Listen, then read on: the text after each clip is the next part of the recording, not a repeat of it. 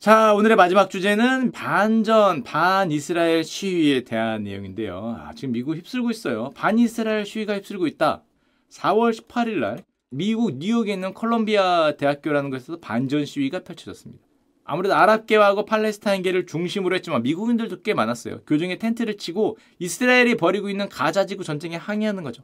근데 미국은 이스라엘에 지원을 끊어라 라는 반전 시위를 펼쳤는데 원래 콜롬비아 대학교는 이 반전 시위로 유명한 대학이라고 합니다. 베트남 전쟁 때 이제 반대 시위를 주도적으로 한 대학으로 유명하고 남아공의 인종 차별 아니면 이라크 전쟁할 때도 이라크 전쟁 반대 시위 이런 반전 대학교로 유명했기 때문에 이런 말이 있습니다. 시위가 있을 때마다 콜롬비아는 그곳에 있었다. 참고로 이 콜롬비아 대학교가 저도 이번에 알았는데 놀라운 게 뉴욕 맨하탄에 있대요. 와 맨하탄에 그 대학교 들어갈 곳은 되나? 우리 주문 뭐 여의도 있는 거 아니야? 와, 이 한가운데 있어요. 한가운데. 삐까뻔쩍한 이 건물 한가운데 대학교가 있는 아이비리그 대학교죠. 굉장히 잘 나가는 대학교라고 할 수 있습니다. 저런 일이 펼쳐지면은 지난번에 축컬다만 나왔지만 역시 콜롬비아 대학교 총장 네마트 사픽이라는 총장님이 바로 미국 의회로 송환이 되었습니다. 미국 의원들이 물어보는 거예요. 왜 반 이스라엘 시위를 하는 학생들을 가만히 놔두냐. 총장은 이렇게 얘기했습니다. 표현의 자유일 수 있다. 이스라엘 가자지구 전쟁에 항의하는 것이 표현의 자유일 수 있다. 그럼 국회의원들이 무슨 소리? 혐오 표현 아니냐? 유대인들을 혐오하는 거고 유대인들을 학살하라는 말 아니냐? 이거는 제노사이드에 대한 말이니까 퇴학을 포함한 중징계를 해야 된다. 학교는 왜 보고 있냐? 라고 이제 총장을 불러서 물어보는 거죠. 근데 예전에 한번 나왔지만 하버드 총장이 여기서 한마디 했다가 사퇴되셨죠. 다른 대학교 총장 세 분이 나와서 거기에 대해 증언을 했다가 한마디 말 잘못했다가 이제 초토화가 돼서 사퇴한 일이 있었기 때문에 이번 총장님은 만반의 준비를 하고 오셨습니다. 공화당 의원들이 막 쏘아붙이니까 대학교는 언론의 자유가 있다. 하지만 의원님들이 말씀하셨듯이 이 특권을 남용할 수가 없고 대량 학살에 관한 얘기를 하면은 학칙 위반이기 때문에 팔레스타인 학생들도 유대인 학생들도 모두 멈춰야 된다. 그랬더니 의원분들이 이렇게 물어보신 게 팔레스타인 반전 시위를 할 때 꼭 나오는 단어가 있다 그럽니다. 그게 바로 이거래요. 어떻게 보면 들고 있는 문구죠. 강에서 바다까지 팔레스타인은 자유다. 위에 있는 거. From the river to the sea, Palestine will be free. 이 문구가 있는데 이걸 얘기하면은 정학이나 퇴학을 시킬 거냐? 라고 했더니 총장님이 이렇게 얘기했습니다. 때와 장소에 따라서 징계하겠다. 팔레스타인은 자유다라는 말도 혐오 있기 때문에 징계하고 반유대주의 발언을 하는 교직원들에게는 그 결과를 물을 것이다라고 강하게 얘기를 했죠. 이 청문회가 미국에서도 또 화제가 됐기 때문에 미국 대학교수협회 회장 아이린 멀비라는 분이 이렇게 얘기했습니다. 우리는 새로운 메카시즘의 시대를 목격하고 있다. 메카시즘 옛날에 소위 말해 그 공산주의자로 이렇게 몰아서 막 집단 린치가 하던 거 있잖아요. 저놈은 빨갱이요? 하면 이제 막 두들겨 패던 그런 시절이 있었는데 그걸 메카시즘이라 그러죠. 우리는 하원의회에서 펼쳐진 새로운 메카시즘의 시대를 목격하고 있다. 친유대주의를 말하지 않으면 두들겨 맞고 있다. 언론의 자유는 어디 갔냐라고 항의하는 그런 일도 있었습니다. 자, 그래서 결론적으로 정치권의 압력도 있기 때문에 대경고를 하죠. 시위를 하지 말아라. 물러가라. 몇 월 며칠까지 해산하고 텐트를 철거해라. 하지만 학생들이 그 말을 듣지 않아요. 계속 반전 시위를 하고 점점 더 거세지니까 경찰이 출동을 합니다. 하지만 점점 점점 반전 시위, 가자 전쟁 반대 시위가 미국 전체로 퍼집니다. 그리고 학생들 사이에서 유대인 기업가들이 자금 지원을 하기 있기 때문에 대학들이 우리 의견을 무시하고 있는 거 아니냐. 특히 몇몇 유대인 기업가들이 학생들을 엄청나게 비판해요. 뭐 저런 애들은 퇴학시켜야 된다 이런 강한 말 하니까 니들이 뭔데라고 하면서 서로 삿대질을 하면서 대학 보고 투자자와 기부다 명단을 공개하고 왜 유대인 기업가들한테만 그렇게 쩔쩔매냐라고 이제 반대로 치고 나오는 일이 펼쳐지고 있습니다. 자, 그러다 보니까 4월 18일 날 뉴욕 경찰이 컬럼비아 대학교에 경찰력을 투입합니다. 대학교 반전 시위에 공권력이 투입되는 순간인데 100명 이상의 학생들이 체포가 되는 일이 있었어요. 뭐 영상을 잠깐 보여드리면 대학교에 경찰들이 들어가서 연행에 가는 그런 모습이에요. 어, 우리나라 80년대 아니면 90년대 대학교 때 군사 독재 시기에 우리나라 대학교에서 많이 보이던 뭐 그런 장면이라고 할 수 있는데 공화당 출신의 미 하원 의장이 뭐라고 얘기를 했냐? 저 현장에 가서 이렇게 얘기했습니다. 주 방위군 투입을 고려하겠다. 군대 투입을 고려하겠다는 말이죠. 바이든 대통령한테 직접 요청해서 군대를 투입하는 방안을 논의하겠다. 가만히 보고 있을 수 없다. 국회의원들은 이렇게 얘기를 하죠. 저기는 전문 시위군이 들어가고 폭력 시위로 가고 있기 때문에 군대 투입이 필요하다. 근데 이게 딱 느낌이 예전에 1960년대 베트남 반전 시위가 안 떠오를 수가 없는데 이때 수천 명의 학생들이 베트남하고 전쟁하는 걸 반대했습니다. 이 주방위군이 들어가서 발포를 했어요. 총을 쏴서 학생들 4명이 사망하는 일이 있었는데 이 4명이 죽은 다음에 전국적인 베트남 반전 시위를 불러왔고 히피 문화 퍼지고 있대. 그 결국 미국은 베트남에서 패배를 하고 베트남을 떠나게 되는데 야, 이 시위가 떠오른다는 사람들이 굉장히 많이 늘어나는 거죠. 그렉 에버트 텍사스 주지사인데 역시 공화당 출신이에요. 시위대가 해산할 때까지 체포할 것이다. 시자들은 감옥에 갈 것이고 증오에 가득 찬 반유대주의 학생들은 퇴학되어야 된다. 라는 강력한 얘기를 했고 4월 29일 날 시위의 중심점이라고 할 수 있는 컬럼비아계 대학교가 봉쇄가 되고 두 번째로 공권력이 투입이 되는데 이때 천명이 넘는 학생들이 체포가 되고 뉴욕 맨하탄 한가운데가 아수라장이 됐다 그럽니다. 엄청나게 많은 거의 뭐 군인처럼 입고 있는 경찰력이 투입이 됐죠. 대학교 건물에 들어가서 학생들이 문을 걸어 잠그고 Free Palestine 이런 걸 적고 끝까지 농성하니까 뉴욕 경찰이 학교 건물 문을 부수고 들어가면서 강제 진압을 했던 이제 그런 사건이라고 할 수 있습니다. 결론적으로 보면은 지금 현재 미국 대학 캠퍼스가 우리나라 옛날에 군사 정권 시대 막 시위에 있고 소요에 있고 그렇게 하고 비슷한 어떤 폭력 또 검거 뭐 이런 모습들이 많이 보이죠. 5월 3일까지 2,100명 이상의 학생들이 이제 친팔레스타인 캠퍼스 시위 도중에 체포되었다고 합니다. 자, 이거는 뉴스 같이 말씀드린 거고 그러면 왜 미국의 대학교에서는 친팔레스타인 시위가 펼쳐지냐? 팔레스타인계 학생들이 많아서 그러냐? 뭐 그런 것도 있겠죠. 아랍 학생들이 많아서 뭐 그런 것도 있는데 결정적으로 퓨 리서치의 어떤 설문조사인데 미국의 젊은이들은 이스라엘보다 팔레스타인에게 공감하는 비중이 더 높다 그럽니다. 근데 신기하죠. 미국의 나이 많은 분들은 압도적으로 이스라엘을 지지하는데 미국의 대학생 뻘 되는 애들은 팔레스타인에게 공감을 더 많이 한다는 거죠. 14대 33이니까 두 배 정도 됩니다. 미국 대학생들이 보기엔 팔레스타인이 피해자다라고 생각을 하는 거고 미국 어른들이 보기엔 무슨 소리? 이스라엘이 피해자다라고 생각을 하고 있는 요 관점의 차이가 미국의 대학교에서 친팔레스타인 시위를 저렇게 몰고 온다고 할 수 있고 그럼 미국의 젊은이들은 왜 전통적인 자신들의 뭐 우방이라고 생각하는 이스라엘 편을 안 드냐? 왜 팔레스타인 편을 드냐? 물론 뭐 자유주의적인 성향, 젊으니까 다 있고 이런 것도 있습니다. 인종 다양성이 미국 20대는 굉장히 높죠. 물론 이게 다는 아니에요. 일부 이유 중에 하나가 50%가 백인입니다. 나머지 50%는 뭐 히스패닉, 흑인, 뭐 그리고 아시안계 막 섞여 있죠. 20대 이하로 내려가면 더더욱 그렇고 인종 다양성도 그렇고 또 약간 아까 말씀드린 그런 뭐 반전의 어떤 그런 거는 대학생들 강하다 보니까 그렇다고 할 수 있고 이스라엘이 하마스 응징을 위해서 가자 지구에서 전쟁을 벌이는 것이 용인 가능하냐? 미국의 어르신들은 절반 정도는 그럴 수 있다고 봐요. 근데 미국의 20대, 30대들은 아닙니다. 대단히 낮아요. 하마스 응징을 위해서 가자 지구에서 전쟁을 벌이는 걸 용인할 수 있다가 21%밖에 안 돼. 그래도 전쟁은 하면 안 된다라고 생각하는 미국 청년들이 많다는 거죠. 특히 미국의 민주당 지지자들은 팔레스타인에게 공감하는 비율이 대단히 높습니다. 30대, 40대까지 가도 이스라엘보다 팔레스타인에게 더 공감을 많이 해요. 공화당은 완전히 반대예요. 민주당은 20대가 47%가 팔레스타인에게 공감하고 30, 40대도 27%가 팔레스타인에게 공감합니다. 그러니까 젊은 층, 20대, 30대, 40대들이 팔레스타인에게 더 많이 공감을 한다는 건데 자, 요쯤에서 여러분들은 하나 눈치챌 수 있습니다. 굉장히 딜레마에 빠진 사람이 있다. 누구겠습니까? 바로 바이든. 이 엄청난 딜레마예요. 바이든 입장에선. 자신의 지지 기반에서 팔레스타인 공감률이 높아요. 20대 미국인들은 바이든을 압도적으로 지지해줍니다. 30대도 바이든이 높아. 바이든에게 60%를 몰아줬어요. 4년 전 투표에서. 트럼프엔 36밖에 안 줬어. 근데 바이든은 그러면 누구 눈치를 봐야 돼? 대학교에서 저렇게 뭐 소위 말해 반전 시위 아니면 친팔레스타인 반 유대인 시위가 나면 누구 편을 들어줘야 됩니까? 바이든은. 트럼프는 확실해요. 왜냐하면 어차피 내 편 아니야. 쟤들 잘못했구만. 문제가 있는 애들이에요. 이렇게 얘기할 수 있는데 바이든은 같이 사태질 하려고 보니까 나한테 표를 주는 애들이야. 사태질 하려다가 아 잘해 잘해 잘해. 아왜 그래 저 잘해야지. 근데 너무 잘해야지 그러면 저쪽에 있는 미국의 주류 세력 유대인들이 이거 이거 이거 어디 편을 드는 거야? 이거 바이든 이제 보니까 우리 편 아니었어? 이러면 뭐 엄청난 딜레마라고 할 수 있어. 엄청난 딜레마. 그래서 보면은 말이 어떻게 나오느냐? 백악관 대변인한테 기자가 물어봤습니다. 학생들은 징계를 받아야 되냐 음, 음, 음, 그건 음, university가 그, 어, 되어 온 디시전을 해야죠. 어, 스스로 알아서 할 일 아니까 생각합니다. 경찰 불러서 진압해야 되는가? 아, um, 그건, 어, 대학교 요청하면 할 수도 있죠. 어, 그, that's up to college. 오케이, 오케이. 대학교가 스스로 알아서 해야 된다. 아니, 뭐, 입장 없습니까? 다음 기자. 다음 기자. 이게 애매해. 뭐, 그렇다고 유대인 편을 안 들 수도 없고, 지금 항의하고 시위하는 사람들은 자기들한테 표를 주는 사람들인데 비난할 수도 없고 이때를 놓치지 않는 분이 있죠. 당연히 트럼프가 폭스뉴스와 인터뷰를 이렇게 합니다. 이거 보세요. 대학 캠퍼스가 극단주의자들과 급진 좌파 선동가들에게 점령당해서 폭력으로 황폐해지고 있는데 바이든은 뭐를 하고 있습니까?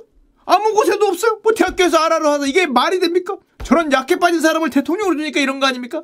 그는 아무런 말도 하고 있지 않습니다. 입을 열고 말을 하라고 하세요. 말을 하라고. 이거 뭐 이거 대학교 이대로 둬도 됩니까? 군대라도 출동해야지 말이야. 지금 이렇게 열변을 토하고 있고 당연히 트럼프가 열변을 토할 수 있는 건 방금 말씀드렸지만 공화당 지지자들은 이스라엘에 아주 강하게 공감합니다. 70%대, 70%대. 공화당 어르신들은 팔레스타인에 공감한다가 3%야. 없어 없어 없어. 없어. 여기 미국의 주류잖아요 주류. 없어. 3% 뭐야? 이거 0, 0이랑 똑같고. 공화당 지지자들은 팔레스타인 지지율이 한 자리 퍼센트 한 자리 퍼센트 거의 없다라고 보시면 되기 때문에 트럼프 입장에서 완전 마음 놓고 깔 수 있죠. 어차피 나 표준애 아니에요. 저런 저런 저런. 전부 퇴학시켜요. 저거 퇴학 아닙니까 저거? 저거 감옥 가야지. 이렇게 할 수 있는 게 트럼프의 입장이라고 할 수 있는 거죠. 사실 바이든도 정치 공학적으로만 보면 명확하긴 합니다 미국인들 중 이스라엘 지지자가 훨씬 많아요. 두 배가 넘는 설문조사가 나오기 때문에 근데 문제는 이게 훨씬 많으니까 당연히 이 편을 들어야 되는데 여기가 대부분 자기를 지지하는 사람들이란 말이에요. 이게 문제죠. 그러니까 이쪽인데 여기를 비난하기엔 여기가 내 지지자라는 게 문제예요. 여기가 여기가 트럼프 지였으면 지금 난리 났지. 감옥에 꽉 차 있을 걸 지금쯤 다 들어가느라고. 근데 문제는 여기가 나를 지지하는 친구들이라는 게 이제 문제가 대단히 크죠. 그래서 바이든은 반유대 시위를 비판합니다. 이렇게 비판해요. 질서가 없다. 질서가 승리해야지. 쟤들은 질서가 없어. 시위할 권리는 있지만, 그쵸? 이걸 없다라 이것은 없고 있지만 혼란을 일으킬 권리는 없어. 시위가 내 의사결정에 영향을 주지는 않을 거야. 이거는 시위가 아니다. 폭동이야, 폭동. 폭동이고 약탈이지 시위가 아니야. 명백하고 단순하게 불법. 내가 너희들의 뜻에 어긋나거나 그런 건 아니고 법을 따르지 않은 거니까 불법이라는 거지. 그거, 그거 폭동이고 약탈은 하면 안 되는 거 아니겠니? 그렇기 때문에 그런 사람들은 이제 기소되어 하는 거다라고 어떻게 보면 약간 에메르송하게 말을 했죠. 뭐 너희들을 지지한다 뭐 이런 건 아니고 안 지지한다도 아닌데 그 불법적인 건 하면 안 된다 이렇게 우리 흔히 그 고위 공무원분들이 많이 이런 얘기 하시죠. 이렇게 얘기하는 거를 화법을 택하셨는데 자 그러다 보니까 하, 어려워요. 이도저도 아니잖아. 우리 편도 안 들어줘. 그리고 실제로 하는 걸 보면 와서 경찰 출동하고 해. 20대 바이든 지지율이 젊은 층의 바이든 지지율, 전통적인 민주당 지지라는 그런 쪽에서 바이든 지지율이 박살이 나고 있죠. 아까도 말씀드렸지만 60%를 지지해 주던 사람들인데 지금 트럼프하고 거의 붙었어요. 물론 이런 어떤 젊은 청년들이 트럼프를 지지할 리는 별로 없는데 바이든 하는 걸 보니까 싫다는 거죠. 지금 붙었고 MBC 조사에서는 트럼프가 바이든을 청년들한테 역전했다. 개인적으로는 개인적으로 어 아마 지금 바이든 입장에서 천하의 이런 원수 같은 놈이 이게 저기야군이야. 이게 나 그게가 그렇게 지지해 주는데 그거 그만 좀 하라니까. 조금 있다가 대선 끝나면 해 대선 끝나면 이거 이스라엘 지지를 안 할 수도 없고. 지지를 하고 그러지 말라니까 핵심 지지층이 흔들리고. 내 표 주는 애들한테 지금 에메르송한데 얘는 자꾸 뭐 아유 이걸 어떻게 할 수도 없고 안 할 수도 없고. 지금 이제 그러고 있는 게 미국의 현재라고 할 수 있고요. 그렇다고 아이 몰라 청년층 표 안 받아. 어 인구수 많습니다. 인구수 많아요. 여긴 투표율도 높아요. 물론 우리나라 투표율 많이 높아졌죠. 우리나라 지금 청년 투표율이 역대 가장 높은 쪽인데 미국도 마찬가지예요. 50%까지 올랐어요. 야 그럼 이거 버릴 수도 없고 게다가 이쪽은 어차피 막 당이 확고하지 않아. 원래 어느 나라나 젊은 청년들은 확고하지 않아. 의견에 따라 왔다 갔다 하죠. 정책에 따라 왔다 갔다 하고 부동층이 많아요. 소위 말해 부동층이. 여기 보면은 요 여튼 요세 개 부동층인데 18에서 29세가 부동층이 가장 많아요. 29%. 거의 30%죠. 30에서 49세도 20%예요. 나머지는 거의 결정이 돼 있으니까 이쪽에 마음을 잡는 게 문제인데 아하 지금 거기서 밀리고 있다는 거죠. 한마디로 이슈 선정에서 밀리고 있다는 거고 똑같고 그리고 바이든은 마음이 급해요. 저런 젊은 층 지지율이 비상이야. 왜냐하면 사실은 젊은 층한테 인기가 별로 없을 수밖에 없지. 한국과 똑같이 미국도 집값과 물가가 크게 올랐어요. 바이든 집권하는 동안 집값이 엄청나게 올랐습니다. 얼마가 올랐냐? 40% 올랐어요. 우린 경험으로 알고 있습니다. 이럴 경우에 당연히 청년 지지율이 좋을 수가 없죠. 어떻게 사겠어? 이거 어떻게 사겠어? 이제 결혼해서 집 살 친구들이 보니까 집값이 많이 올랐어. 이거 뭐야? 바로 대통령 욕으로 들어간단 말이야. 이런 이런 이런 내가 뽑아줬더니 이렇게 만들었어요. 미국의 Z세대 응답자 중에 33%가 주택 구매가 영원히 불가능할 정도로 가격이 많이 올랐기 때문에 당연히 인기가 좋을 수가 없고 고용 좋지 않냐? 고용. 요즘에 이렇게 취업자 잘 되고 실업률도 최저더라. 미국 청년들은 뭐라고 얘기를 하냐면 이렇게 얘기합니다. 비슷해. 신규 고용이 늘어났지. 하지만 그건 대부분 저소득 일자리야. 공공 일자리 건설 레저 숙박. 이거는 우리가 바라는 일자리가 아니야 저소득도 마다하지 않는 그런 이민자들에 대한 일자리지 우리가 하고 싶은 건 뭡니까 tech 금융 법률 회계 이쪽은 늘어나지 않았다는 거죠 어, 무슨 말인지 알 것 같아요. 어우, 야, 뭐, 바로 이해가 되네. 사람들은 고용시장이 호황이라고 얘기하지만 이거 별거 아니다. 왜냐? 저숙련 저임금 일자리지 우리가 말하는 금융, 소프트웨어, AI 뭐 이런 것들 있잖아. 고임금 일자리 이거 줄고 있다. 라고 또 불만을 토로한다는 거죠. 하, 그래서 게다가 뭐 이거는 뭐 우리나라에서 비슷했지만 최근에 뭐 남녀 갈등 막 문화 전쟁 막 이런 거 하니까 또 미국의 젊은 남성들은 왜 우리한테 뭐라 그래요? 또 우리가 억압자입니까? 또 이런 얘기를 하다 보니까 물론 그렇다고 미국의 청년들이 트럼프를 막 지지하는 건 아니죠. 미국의 청년들한테 물어보면 이렇게 대답합니다. 현재 대선 후보를 둘 다 바꾸고 싶다. 66%.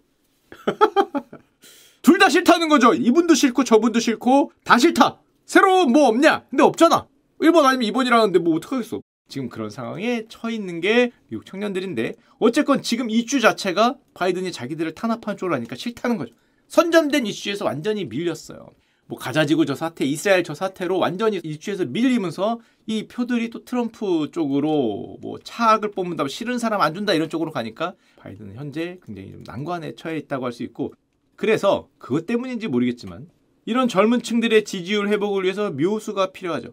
이대로 쭉 가면은 아직도 사실은 치열해요. 5대 5라고 보는데 밀릴 수 있어요. 이대로 가면 질 수 있단 말이야. 집토끼는 잡아야지. 산토끼는 놓치더라도 집토끼는 잡고 나머지 산토끼를 갖고 오냐 마냐의 문제인데 집토끼가 떠나가게 생겼어. 지금 막 저렇게 시위하고 뭐 경찰력 출동하고 애들 대학생들이 막 감옥에 가서 들어가고 이런 게 자기한테 좋은 모습이 아니잖아. 그럼 묘수가 필요합니다. 묘수.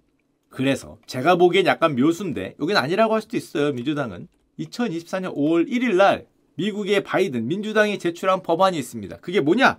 새로운 어떤 안건을 가져야 된단 말이에요. 새로운 이슈. 우리가 유리한.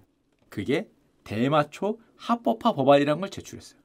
시위로 관심이 가 있는 관심을 딴 걸로 바꿔야 돼. 이렇게. 이쪽으로. 지금 그 이슈 때문에 어 바이든이 잘하고 있냐 못하고 있냐 그럼 우리는 약간 얘기가 하기가 애매를송하니까 시선을 돌려야 돼. 다른 더큰 몰로 좀 이렇게 좀 유리한 쪽으로 이 이슈가 가야 되는데 제가 보기엔 그래요. 대마초 합법화 법안을 딱 5월 1일 날 다시 제출했는데 아니 갑자기 왜 대마초냐?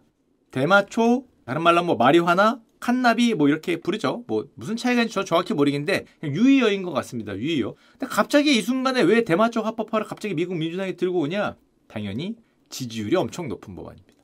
대마초 합법화 지지율이 미국에서 70%가 찍혔어요. 와. 옛날에 12%였는데 70%가 찍혔고 게다가 누가 좋아하냐? 저 법안을 40대 이하 젊은 층들이 좋아합니다. 어르신들은 싫어해. 이거 이거 이거, 이거 마약 아니에요. 마약 이런 거 당연히 금지해야지. 싫어해도 43%긴 한데 젊은 층들은 70% 60%를 좋아한단 말이에요. 그러면은 이슈를 돌려야죠. 나한테 내가 싫어서 절로 떠난다는 친구들을 잡아두는 이슈가 필요한 게 아닌가. 그리고 사실 바이든한테 큰 부담도 없는 게 미국의 많은 주에서는 이미 대마초가 합법화돼 있습니다. 미국 인구의 절반 이상이 합법화 지역에 거주돼 있어요. 그러니까 사실은 많이 합법화돼 있는데 이슈몰이가 가능하죠. 저 법안을 앞에 내세우면 이제 반대에 막 찬성하는 게 언론을 덮으면 자기는 찬성 쪽에 있으니까. 트럼프는 여기에 대해서 말을 잘 안 하거든요. 자기는 강하게는 합법주의이기 때문에 내가 이슈몰이를 하고 의견을 강하게 낼 수 있는 그런 거라고 할 수 있는데 대체로 민주당이 강세를 하고 있는 미국의 서쪽이나 이쪽 동쪽 이쪽은 합법하고요. 아무래도 종교 이런 게 좀 강하고 공화당의 강세인 쪽은 좀 규제 중이고 좀 그런 곳이라고 할 수 있습니다. 놀랍게도 이쪽 캘리포니아 이쪽에 대마초가 합법한데 제가 안 가봐서 모르겠는데 진짜 이런가? 공연 도중 래퍼가 관객들에게 대마초 수증기 대포를 뿌렸다. 관객들이 푸처 핸접하면서 환호성을 들었다는 거죠. 야 이게 아 이게 일부인가? 이게 대마초를 정말 저렇게 많이 피나? 합법화라고 담배처럼 뭐 해도 되는지 뭐 합법화라니까 해도 된다는 것 같긴 한데 하여튼 좀 문화적으로 이제 많이 퍼져 있다는 거죠. 미국 전체 성인 중에 한 달에 열흘 이상, 열흘이면 꽤 많이 피는 거죠. 3일에 한 번 이상 대마초를 소비하는 비율이 9%, 거의 10% 가까이 나오니까 나름 널리 퍼져 있는 문화죠.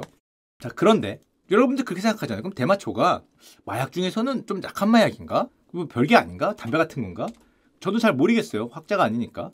현재 미국 정부 분류의 기준에 따르면 1등급 작물입니다. 엑스터시 헤로인 옆에 있는데 아, 이게 물론 그 아마 저런 걸 거예요. 중독성 뭐 이런 거 같아. 코카인, 펜타닐이 2등급인데 대마초가 1등급이야. 필로폰이 2등급인데. 야 이게 뭐야? 그럼 엄청나게 위험한 약물 아니냐? 그래서 바이든이 2020년 대선할 때 대마초 분류가 잘못되었기 때문에 3등급으로 낮추겠다라는 공약을 걸었습니다. 대마초 비범죄화 해야 돼. 이거 담배같이 해야 되는데 1등급이니까 잘못되었어. 3등급으로 낮추겠다. 그래서 현재 미 보건복지부가 3등급으로 재분류하는 방안을 제시하고 있고 아마 3등급이 될 것 같아요. 왜냐하면 4월 30일 날 엊그제 미 법무부 산하 마약 단속국이 대마초를 3등급 덜 위험한 약물로 재분류하겠다고 밝혔기 때문에 법무부 장관도 그렇게 하겠다고 했어요. 그래서 아마 재분류가 되지 않을까라고 생각이 되고 바이든은 여기에 대해서 굉장히 의견이 강합니다. 대마초 합법화. 대마초 소지 및 사용으로 인해서 범죄 기록이 남는 건 잘못됐다. 고용, 주택, 뭐 교육 기회가 날라갔고 정부의 정책이 잘못됐다. 수많은 생명이 없어졌다. 이건 뭐지? 수많은 모르겠는데 하여튼 이제는 잘못된 제도를 바로잡을 때다라고 굉장히 강력하게 밀어붙이고 있습니다. 그리고 누가 보더라도 이거는 약간 젊은 층을 향한 이슈라고 할 수 있는 게 나이 드신 어르신들은 싫어해요. 대마초 합법화에 대해서. 보시면은 막 대마초가 긍정적이라는 비중이 33, 32, 14, 8% 이렇게밖에 안 나옵니다. 근데 20대나 30대는 대단히 높아요. 아까 얘기 드렸지만 20대는 막 70%가 긍정적으로 나오기 때문에 쇼메리가 굉장히 좀 강하게 될 수 있죠. 그리고 당적으로 봐도 민주당 지지하는 분들은 75%를 지지하고 무당층도 67%, 공화당도 54%이기 때문에 사실은 54%면은 미국인들은 초당적으로 어느 정도는 찬성하고 있지 않나 생각이 되고 아까 말씀드렸지만 트럼프에 비해서 강하게 얘기할 수 있는 게 트럼프는 대마포 합법화에 대해서 그렇게 말하기 좋아하는 분이 약간 입을 잘 안 엽니다. 이게 거꾸로야. 바이든은 저 시위에 대해서 입을 열기 힘들잖아요. 강하게 반대하기 힘들단 말이야. 반유대 시위에 대해서 손가락질을 하려니 내지지자고 손가락질을 안 하려니 이게 이게 딜레마인데 트럼프는 반대예요. 대마초 합법화가 딜레마야. 찬성. 찬성하면 그렇잖아. 쟤들이 어어 어, 반대. 그럼 나한테 오는 쟤들 이게 약간 애매해. 트럼프는 대마초 합법화에 대해서 약간 오히려 딜레마에 걸려 있죠. 마음속으로는 보기엔 찬성을 하고 싶은 것 같은데 자신을 지지하는 전통적인 그런 소위 말해서 나이 많은 이제 백인 위주의 그런 사회 종교 세계 강한 그런 사회는 싫어하니까 그래서 그의 의중이 무엇인지 알기 어렵다. 의견을 얘기를 안 해. 그러니까 이 이슈를 몰이하면은 바이든 좀 득을 볼 수가 있죠. 물론 아마 지지하는 것 같습니다. 아마 왜냐하면은 공화당 내에서도 온건한 공화당, 온건파 마이크 존슨 아까 전에 하원 의장 이런 사람들은 반대하는데 강성 트럼프 충성파라 얘기한 사람들은 대마초 합법화를 지지하고 있어요. 이걸 밀고 있기 때문에 아마 그런 게 아닌가. 또 트럼프는 재임 시절에 농업용 대마초를 합법화한 적이 있거든요. 그러니까 반대는 아닌 것 같은데 그래도 말하기 어려운 이제 딜레마에 처해 있는 그런 주제라고 할 수 있죠. 한마디로 대마초로 이슈몰이 하면은 바이든이 득을 볼 수 있을 것 같고 그러니까 저렇게 이슈몰이 하는 것 같고 저렇게 가자지구 뭐 팔레스타인 친팔레스타인 뭐 반유대 친유대인 요걸로 이슈몰이를 하면은 이제 트럼프가 뭔가 득을 보는 이제 그런 상황이기 때문에 미국에서는 요 커다란 이슈 두 개가 서로 부딪히고 있는 상황이 아닌가 생각이 듭니다. 뭐 반전 시위라고 해야 되나 좀 애매하긴 하죠. 뭐가 혐오 시위고 뭐가 표현의 자유인지 모르겠지만 미국 대학교에서 이제 미국 청년들을 중심으로 한 뭐 반전 시위죠. 일종의 반전 시위, 반전 시위가 지금 펼쳐지고 있고 미국 사회가 감론을박에 빠져 있다는 게 오늘의 주제가 되겠습니다.